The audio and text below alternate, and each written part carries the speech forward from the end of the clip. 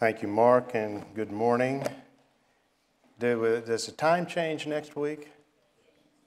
Does? Remember that. I'll try to do the same and uh, I'll try to remember what we're doing today. It's uh, Colossians chapter 3. We're starting a new chapter and we're going to look at verses 1 through 4. So, Colossians chapter 3 beginning with verse 1. Therefore, if you have been raised up with Christ, keep seeking the things above where Christ is, seated at the right hand of God. Set your mind on the things above, not on the things that are on earth. For you have died, and your life is hidden with Christ in God. When Christ, who is our life, is revealed, then you also will be revealed with him in glory. May the Lord bless this reading of His Word and bless our time of studying it together. Let's bow in a word of prayer. The 19th century evangelist Dwight L. Moody used to warn people about being so heavenly minded that they were no earthly good. There's some value in that, I suppose, but I must say I've never met a Christian who was too heavenly minded. I don't think that's our problem today. I don't think Paul thought it was a problem in his day. In fact, his instruction to us is to be heavenly minded. That is the only way to be any earthly good. He tells the Colossians, keep seeking the things above where Christ is. Where Christ is, is heaven.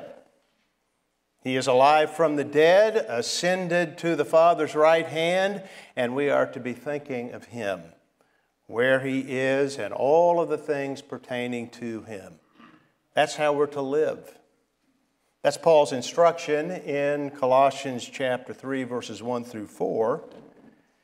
This part of the book is about application. So we now enter into the second phase of the book, a new part of the book. Paul developed doctrine in the previous two chapters. Now he shows its implications for our life.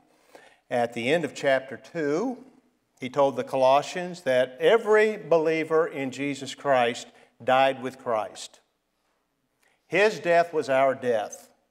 He died as our substitute. He took our place in judgment. He died as our representative and he paid for all of our sins at the cross. We just sang about that in Toplady's hymn. As a result, when we appropriate all of that, all of those blessings through faith, we are no longer the people we once were. The old person is dead. We're new creatures. We have new life. But how are we to live that new life? That was one of the issues the Colossians were struggling with, and it's one that Christians deal with in every generation. How do we overcome sin and live well?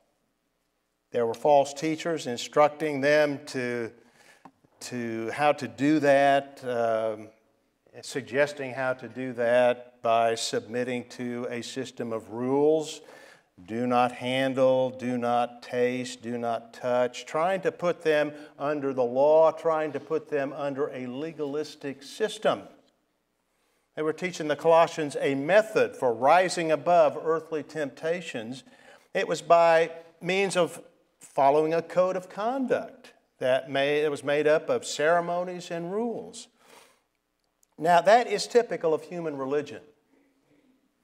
It's the idea that we need to protect ourselves from the world and its temptations by building a fence of man made rules around our lives.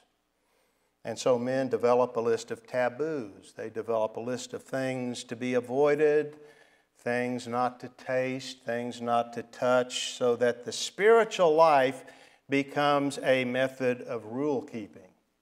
It's reduced to a mechanical kind of system of following the rules. That's not the Christian life. There are principles of conduct, of course, but it is fundamentally a relationship. The Christian has been joined to the living Christ. As Paul says in verse 3, we have been hidden with Christ in God. We're in Christ, Christ is in us, and we are in God. We are joined to Him so that His life is lived in us. We have His power in us, which enables us to obey and overcome temptation. And we have access to that life through faith. That's how we live, by faith. But there are things that we must do to strengthen our faith and motivate to obedience. We must think on the right things. That is what Paul instructs us to do. But first, he lays the, the ground for that instruction by reminding us of who we are. That's the significance of the word therefore that begins the chapter. It looks to something before, it connects us to the previous passage where the believer is described as having died with Christ. So, therefore, is drawing an implication or a conclusion from what he has just said. So, therefore, he says, in light of what he has previously said, and what he's previously said is that your, your old life is gone. You have died if you have been raised up with Christ, or better, since you have been raised up with Christ, keep seeking the things above. A believer is dead to the old life and has been raised up to the new life, and therefore live it, is what he's saying. Seek those things above. And we can do that, and we should do that because we are new creatures. We are members of God's family. We don't have to struggle in order to obtain that position. We don't have to struggle each day to become a child of God or a son or a daughter of God. That is ours through faith. At the moment of faith, we are that. We have that through Christ who obtained all of that for us. We received it the moment we believed in Him. So now, because of who we are as children of God, our interests are to be different. We're different people. Our pursuits our affections, our desires are to be different. They're to be consistent with our new standing and position and our new life. We are to seek that life. Our, our thoughts are to be oriented around the things above, and our wills, our efforts are to be applied to obtaining them, obtaining the things above. We're to pursue them. And that's to be a constant effort.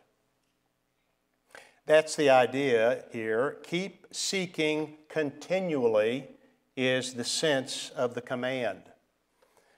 To that, Paul adds in verse 2 set your mind on the things above, not on the things that are on earth.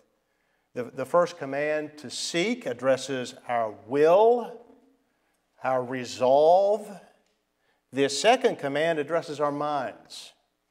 The things that fill our minds affect the way we live our lives. We have an expression you are what you eat. If a person eats unhealthy food, it's most likely that he or she is going to be an unhealthy person. And it's the same in matters of the mind. If we focus on worldly things, we will be worldly. But if we put our minds and our thoughts on heavenly things, our lives will be influenced by the heavenly. The way to overcome the lure of the world and temptations of the flesh is not by concentrating on all the things that we shouldn't do. And really, what that often does is, is stir up the desire for those very things because we're focusing our mind on those things. The best way to overcome evil is with good. That's what Paul says in Romans chapter 12, verse 21. We overcome evil with good.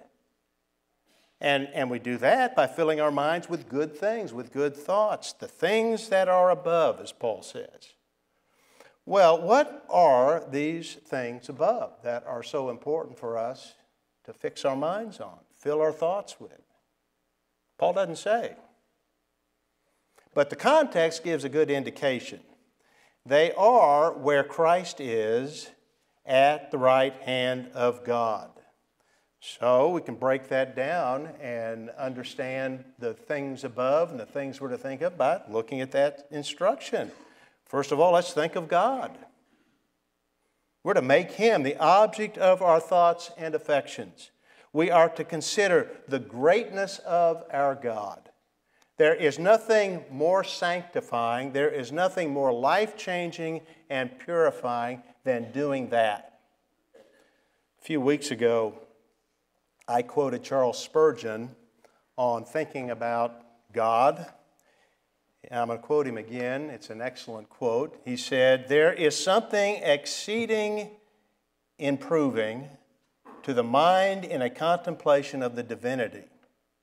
No subject will tend to more humble the mind than thoughts of God. But while the whole subject humbles the mind, it also expands it.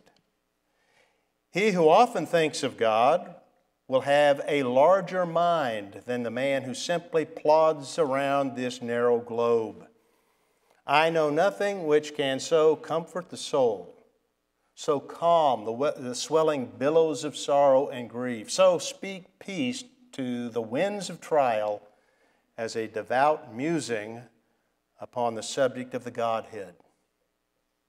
Now, Spurgeon introduced his sermon that Sunday morning in 1855 with those words. It was his first sermon of his great minister, London ministry, and he preached that at the age of 20. Well, that's a profound thought, a profound way of looking at things from a person at such a young age, but that can explain the life of Charles Haddon Spurgeon, why from such an early age he had such an influence, not just on London and England, but he had a worldwide influence.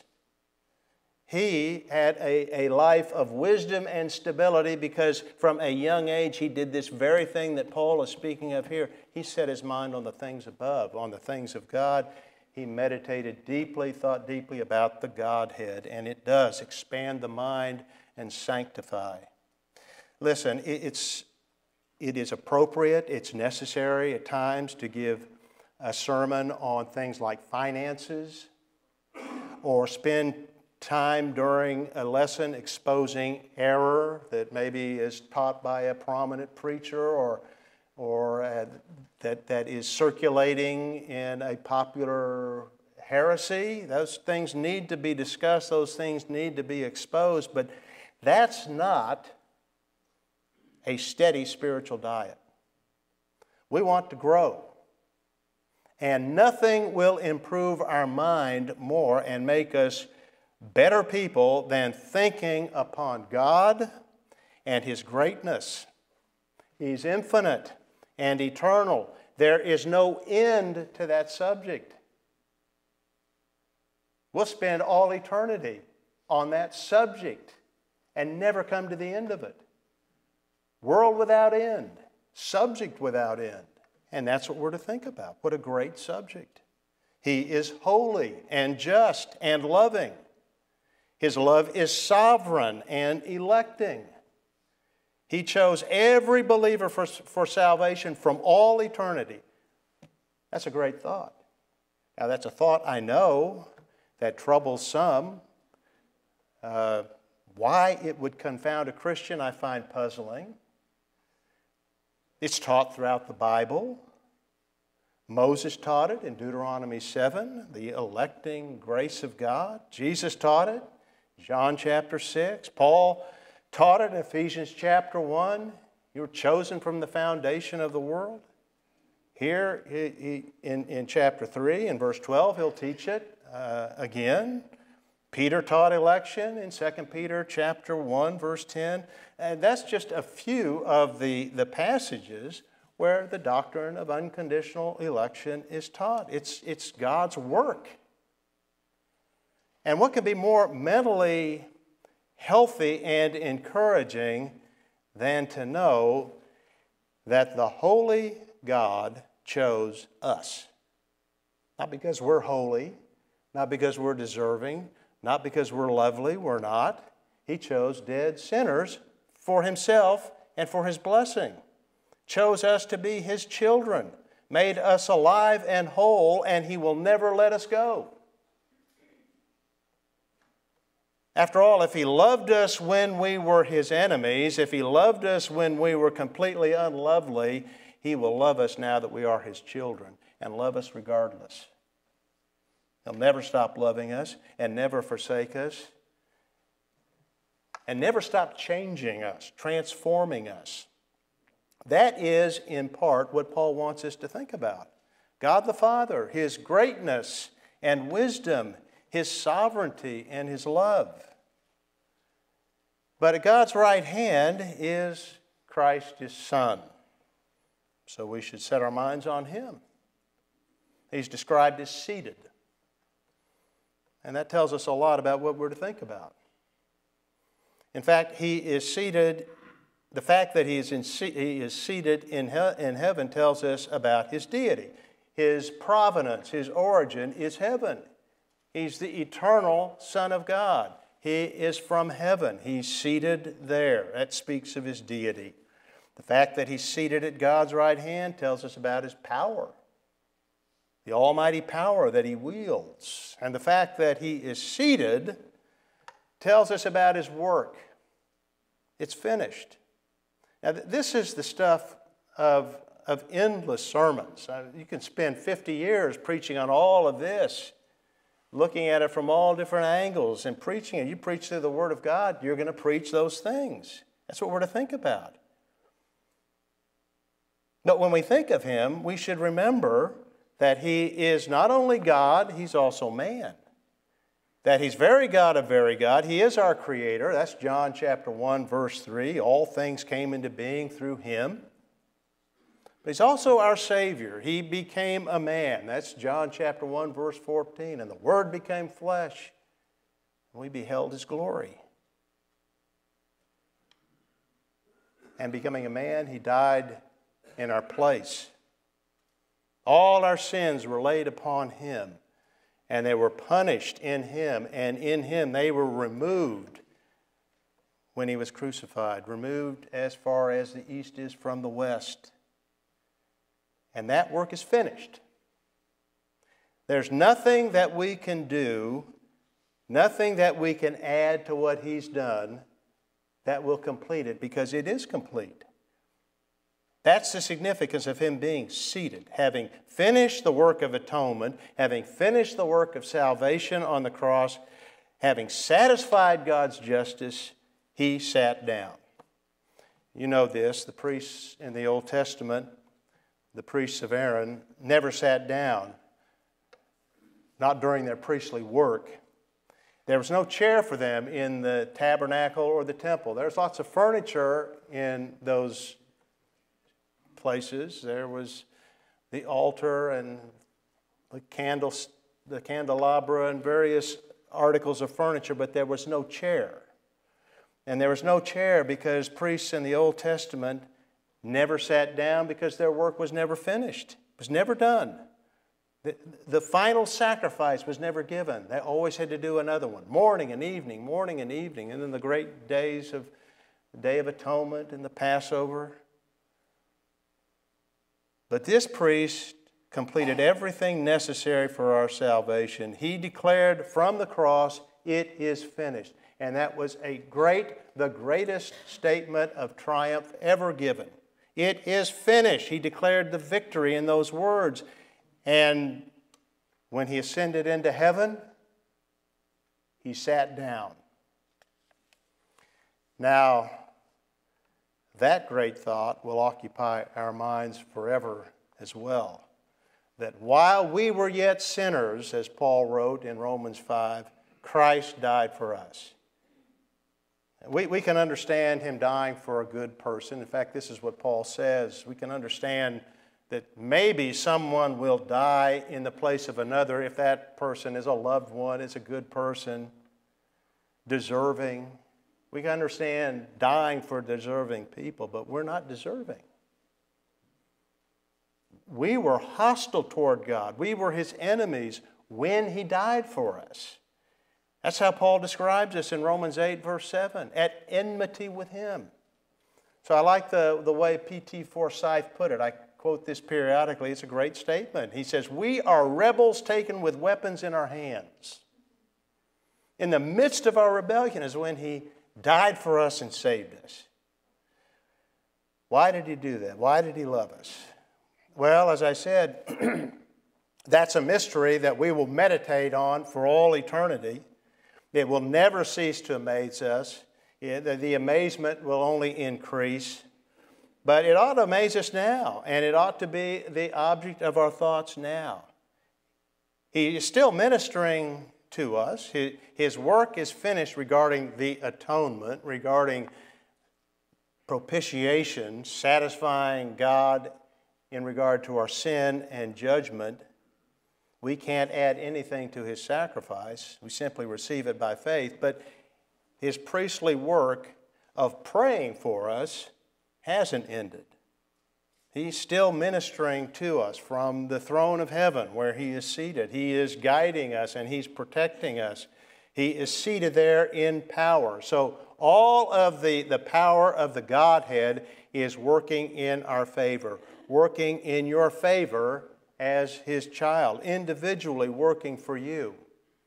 You have an illustration of this from the Aaronic priesthood. The pre- Aaron and the priests that followed him had certain clothing they wore, certain articles that they wore. One was a breastplate with the names of the tribes of Israel, the 12 tribes on it. And then on his shoulder, he wore these, these uh, stones that had engraved on them the tribes of Israel, six on one, six on the other. He would bring them before God. That was part of his priestly service. And that's what the Lord Jesus Christ is doing for us now, bringing us before him, not just in some great sort of collection. Individually, he's dealing with this. He's praying for you at every moment, right now, today, tomorrow, forever, interceding for you personally according to your needs, your particular issues. And His power is working for us. it, it is almighty power, but it is power tempered by love and guided by wisdom. If it was simply power, the power of God, the omnipotence of God, that would be a frightening thing.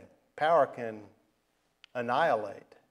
But this is that kind of power that could vaporize the universe in a moment, governed by His love and directed by His infinite wisdom, so that it always does what is right. Fix your mind on that. Know it to be true. He may lead us through some difficult experiences. He may lead us through the, the valley of the shadow of death. And uh, He will do that. You can count on that. We're all going to go through dark valleys. But He's always beside us and He's always before us, leading us and protecting us. John Bunyan gives a good example of that. I, you've noticed, I'm sure, I like to refer to Pilgrim's Progress because Bunyan had amazing insight into the Christian life and he covers all of it in that book, both the first one and the second one. But early in the, uh, the first book, when Christian comes to the wicket gate and sees the cross and the burden falls off his shoulders, he begins his journey to the celestial city. it's not long before he begins to have difficulties along the way, which is true to the Christian life. And he finds himself crossing a valley and he's walking across this valley on a very, very narrow path. On one side is a deep ditch, on the other side is a bottomless pit of quicksand. And it's dark. It's so dark he can't see in front of him to know where to put the next foot in front of the other as he walks across this very narrow path. Smoke and fire coming up from the pit of hell, and he heard voices softly suggesting wicked, faithless thoughts. But after walking in this condition for a while, he finally heard a voice saying, Though I walk through the valley of the shadow of death, I will fear no evil, for thou art with me. And he was glad. He realized that God was with him. So he went on. And Bunyan writes By and by the day broke and turned the shadow of death into morning. That's how we live the Christian life, really. It's a narrow path with dangers around and is difficult to know what to do next. But if we follow Him, if we're led by the Spirit, if we're in fellowship with Him and walking in obedience, He guides us providentially and guides us wisely. The Lord is always with us. We have a living Savior. He is actively working for us now, right this moment, and always. As the psalmist said, He who keeps Israel will ne- neither slumber nor sleep. It may be dark, but He's awake and He's watching and guiding. Now, these are some of the things that Spurgeon said comfort the soul, calm the swelling billows of sorrow and grief, and speak peace to the winds of trial. That comes with thinking on the subject of the Godhead. And then the things above include heaven itself, the beauty of it, the purity of it, the, the comfort of it, the happiness of it. It's a place of rest. We ought to think about that. That's our, that's our destination. That's where we're going. This brief life is over briefly, and that's where we're going to be. Should we not think about our heavenly home and how great it is and glorious it is? We're, we're often impressed with great estates large houses that we see in this world. Perhaps you've traveled and you've been to some place like Europe and you've seen the great palaces and castles there. Maybe you've been uh, to Versailles outside of Paris and you've gone through that magnificent palace of uh, Louis XIV and through the Hall of Mirrors and then gone out into the, the vast estate with its gardens and what, what a place to live in and it would be. And there are places around here that would be magnificent to live in, but they're nothing, and there's nothing in this world that can begin to compare with what Christ has prepared for us in heaven and the world to come. In his Father's house. What must it be like to live in the house of God the Father? And heaven is not our ultimate destination, the kingdom to come on this earth, and then the new heavens and the new earth, world without end. That's our destiny. That's where we're going. It's a glorious destiny, glorious beyond words. Trials all ended, and unending joy before us, joy that will only increase exponentially forever and ever. What a thought that is. It's not going to be a, a, moment, and I can't explain eternity. Is there time? Is there not time? Those are debates that men have. But there will never be a moment where there's a lull. You're going to have joy from the moment you're there that like you've never had, and it will every moment of your existence will only increase exponentially forever and ever and your knowledge will only increase forever and ever. What a thought, as I said. We, we should set our thoughts on that and remember that the things we do in this world for Christ count for that, count for the future, count forever. There is great reward coming for the faithful. And we're not simply motivated by the reward though I think that's motivation. We're motivated to live obediently because of the love that He's given to us and shown us. And as we live obediently, in the smallest things to the greatest things, God rewards that faithful life. And then the things above include the occupants of heaven, the, the saints who are there and who we will see and know. And when I use that word saint, I'm using it according to the scriptures that Every believer in Jesus Christ is a saint, a, a sanctified one, a set apart one. And when we enter into heaven, we're going to be with the saints that are there, and we're going to see them all and know them all. The innumerable multitude of them. People sometimes ask me, uh, are we going to recognize each other when we get to heaven? And I have to tell you, I'm a little surprised by that. Paul ends 1 Corinthians 13 saying, Now we see in a glass darkly, then face to face. In other words, what he's saying, what he's saying is, even I, the apostle, see things only vaguely right now, but then I'm going to see everything clearly. Yes, you'll know everybody there instantly, and they'll all be your best friend. That's heaven. You're going to know Paul and Moses and go down the list. A great company of fellowship.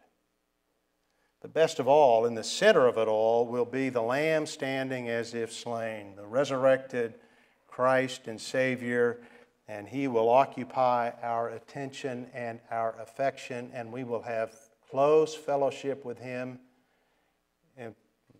John speaks of that at the end of John, uh, Revelation 7 about the shepherd leading the sheep from spring to spring. And the idea, particularly in an agrarian place like uh, Israel, Palestine, uh, would, this is places of refreshment. And we're with him, and he's refreshing us, and we're having deep fellowship with him. That he will be, he will be the focus of our attention. But of course, that being the case, he should be the center of our thoughts now. We should focus on him, all of these things. Now, having said that, that does not mean, of course, that our minds are in no way to be occupied with the things of this world, to be engaged in the daily routines of life. Uh, that would be reducing Paul's instruction here to the absurd. He's not telling us to withdraw from the world of business or medicine or law or art or any profession. He calls his people into those fields, and we are to strive in each of those fields, whatever field we've been called to, to excel in them. Well, one, one of the ways that God has blessed Believers Chapel, and I've seen this over the many years that I've been here, as He's blessed us, He's blessed this assembly with godly doctors and lawyers and businessmen, all kinds of people. And they, in that, those capacities, have been a blessing to this place. And, and that's nothing to discount. We are to strive for excellence in whatever field we are in. But our profession, our job, is not to hold first place in our hearts. It's to be seen as a ministry, and, and all that we do is to be done for the Lord and His people. Paul wrote in 1 Corinthians chapter 10 verse 31, whether then you eat or drink or whatever you do, do all to the glory of God. Everything from the, the simplest to the most complex, to the, from the mundane to the sublime, all of it is to be done to his glory. So be a doctor, a housewife, a bricklayer, whatever you are, to the glory of God. But you'll only do that as you set your mind on Christ and the things above. That takes effort. That takes discipline. It means regularly putting our thoughts on God's Word. That's how we find out and learn about the things above. Our situation of uh, earning a living in the world has been compared to that of the birds of the air that need to fly down to earth to feed. Uh, that's always a danger because there are traps down here, there are guns and hunters waiting for them down here. So a bird is never safe when it feeds in a field or on a pond. To avoid danger, it has to eat and take flight quickly. And as we mix with the world, as we should, as we must, we have to be cautious not to get in a trap, which means not allow ourselves to become enamored of the world. The way to do that is desire other things more. Desire God and the things of God more than the things of this world. But we will only do that by setting our minds on the things above. Psalm 34, verse 8 Oh, taste and see that the Lord is good. Try it, believe it, meditate on it. Try Him, believe Him, meditate on Him. It's a mental exercise. setting our minds on the things above is an act of the will, but it has great rewards. What we tend to do, though, is get caught up in our job or in some worldly concerns. We're very much like Martha and not Mary, Lazarus' two sisters. Martha, you remember, was busying herself with preparing a meal for the Lord and his disciples. She did a good work, she did a necessary work. She was doing what she was supposed to be doing, but she became encumbered by it, she became overwhelmed with it. That wasn't the Lord's desire for her, it wasn't what the Lord was requiring of her. The Lord preferred that she do her work adequately, but then, like her sister Mary, sit at his feet and learn from him. Even in, our, even in the ministry, it's easy to get caught up in the details of it and a lot of the activity of it and lose sight of the, of the subject of it, of the Lord Himself, and begin doing work for Him without really learning from Him and fellowshipping with Him. That's what we are to do be in fellowship with Him and that will prepare us to walk and work in the world in a way that is worthy of our calling, worthy of the new life that He has obtained for us. Paul reinforces his instruction in verse 3 where he says, For you have died. Now, that is repeating and emphasizing the statement that he made in verse 1 and that he made in chapter 2.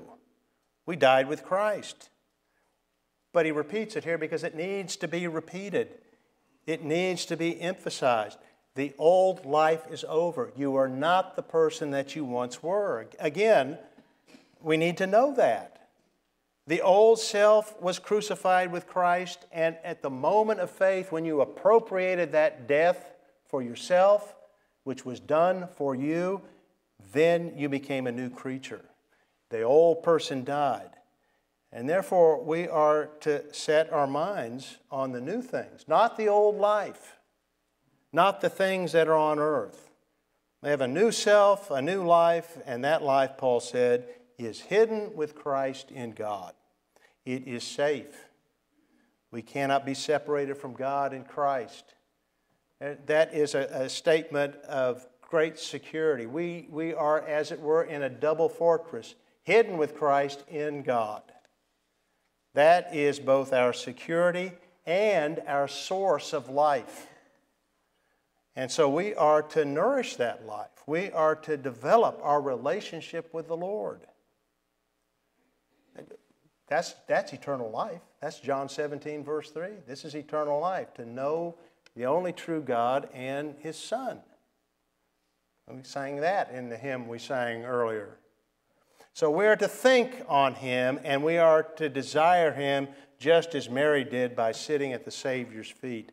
And like the psalmist did in Psalm 42, which is a great expression of what Paul is urging us to do. David wrote, As the, as the deer pants for the water brook, so my soul pants for you. The more, the more we taste the Lord, the more we will thirst for him and the more we will desire the Lord, and the more we will live for the Lord. Charles Spurgeon said there is nothing more practical than that. It both humbles the mind and expands the mind. Paul would have agreed with that completely. That's the purpose of his inspired counsel here to expand our minds. But that being so, the opposite would also be true not thinking on the things above, thinking instead on earthly things, shrinks the mind and inflates the ego. Found an illustration of that from one of Charles Spurgeon's contemporaries, one of the most celebrated men of the age, Charles Darwin. His last book, just before he died, was on worms. Found that interesting because Darwin began his education studying for the ministry, training to be an Anglican priest, setting his thoughts on the things above, until he became more interested in botany, in plants, in things on earth. Over time, his belief in God faded and his confidence in the natural sciences increased. Disbelief crept over me at a very slow rate, he confided, but was at last complete. The man who began studying God ended studying worms. That's a poor exchange. Now, I'm not saying it's wrong to study science. It's not. It's a good thing to study science. And in fact, through the study of science, we see God's wisdom in this creation. We see His wisdom even in things crawling in the dirt. But I find a parable in Darwin's life. It's what happens when a person exchanges the things above for the things below, the things of earth. Disbelief will creep over him, maybe slowly but surely, until he worships the creation rather than the Creator and gradually exchanges God for worms. Spurgeon was right. There is something exceeding improving to the mind in a contemplation of the divinity. Nothing will humble the mind and expand it more than studying the things above. That is where Christ is seated seated at the right hand of God. There is no greater blessing, no more enlightening blessing, mind expanding blessing than studying and knowing Jesus Christ. That's the blessing of the present, but we have a future blessing. Paul speaks of it in verse 4. When Christ, who is our life, is revealed, then you also will be revealed with him in glory. That's our future. It's not our present. Right now, our lives are hidden with Christ in God. The world can't see the glory of what we have. We can't even see that glory very well. It's yet to be revealed, revealed in us. But that day will certainly come when it will be revealed. Paul spoke of that back in chapter 1, verse 27, when he spoke of the hope of glory that we have. We have a wonderful, unimaginably glorious future. Weeping may last for the night, the psalmist said, but a shout of joy comes in the morning. Now, that statement in the psalm, Psalm 30, verse 5, is a present blessing. That's true for us right now. But it looks ultimately to what Paul is speaking of here, ultimately to the return of our Lord. And then there will be a shout of glory, and it will be a new morning, a new dawn. Knowing that, thinking about that is sanctifying. It gives perspective on life now in this world, this, this vale of tears that is even now passing away and it gives incentive to us to live for what is to come and what is permanent. These things out here that enamor us, that, that attract us so much, that, that get a hold on our affections, are not permanent. We can't keep them for very long. What's permanent is what is to come. That's what we're to be living for. But we won't do that, we won't understand that if we don't set our minds on the things above. Those who set their minds on the things below lose perspective. Think only of this world and live for it. Really, it is those who are heavenly minded that are earthly good because we know the world is passing away and what is done for Christ in this life and for others, that lasts, and only that lasts. But you'll never have that perspective, that broad view of reality, unless you have the mind of God and develop it by cultivating thoughts of God which direct and motivate obedience to God. That's the best life. That's the full life a life that requires discipline and focus, a willingness to cut out things, good things, in order to have the best things. But it is a life of great rewards, both now and for eternity. We have that life only in Jesus Christ. And we are joined to Him only through faith faith in the one who is the Savior, the Savior from sin's power and the Savior from sin's penalty, the judgment to come. He has opened up heaven for sinners, for those who are in resistance against Him. He's opened up heaven for those who turn and believe. So if you're here without Christ, we urge you recognize yourself as being in rebellion, in sin, and flee to the cross where you will receive forgiveness and everlasting life. Pray to Him for faith and believe in Christ. May God help you to do that and then help you, help all of us to live for Him. Set our minds on the important eternal things. Well, I, the great hymn, I think, for us to sing in light of all this is one that we sang last week, but it's a wonderful hymn, hymn number 23 in the Songs of Praise books. Let's stand and sing before the throne of God alone and then remain standing for the benediction. Number 23. What a great thought that is, Father, that our lives are hid with Christ in God. We are in Him, He's within us, we are in the Godhead, safe and being blessed with life at every moment. Thank you. Help us to think deeply on these things that we might live a life that's pleasing to you. We pray these things in Christ's name. Amen. Thanks, Warren.